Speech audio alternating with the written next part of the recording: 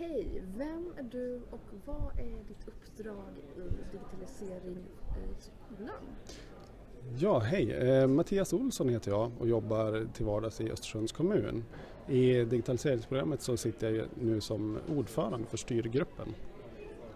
Eh, och vad är dina tankar om FoU-programmet digitalisering i skolan hittills?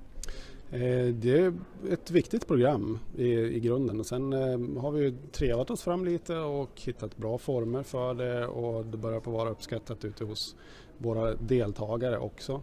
Eh, och det, det, ger en hel del ute i våra kommuner. Om jag tittar på min egen kommun så, så händer en hel del saker och det börjar på att hända på alla nivåer, både på förvaltningsnivå och ute på de deltagande skolorna.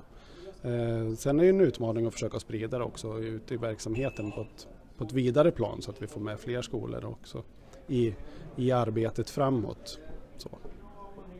Vad är dina tankar inför framtiden?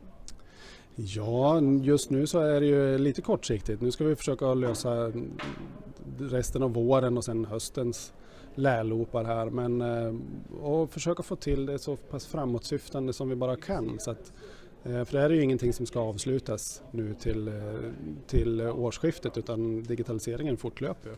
Då är det jätteviktigt att våra kommuner får verktyg också för att kunna hantera det här själva i en framtid. Tack så mycket. Tack.